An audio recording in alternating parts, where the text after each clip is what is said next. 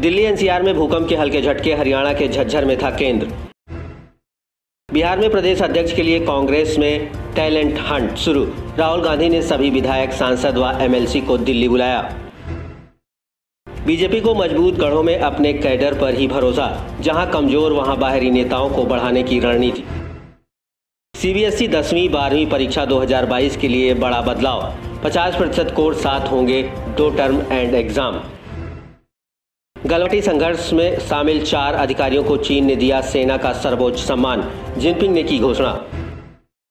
पंजाब के बाद हरियाणा कांग्रेस में भी बड़ी अंदरूनी कला, सैलजा की जगह, हुड्डा को प्रदेश अध्यक्ष बनाने की उठी मांग।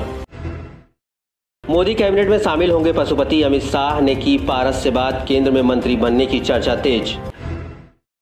ट्विटर विवाद के बीच शशि थरूर की अगुवाई वाली समिति ने आईटी मंत्रालय के अधिकारियों को बुलाया।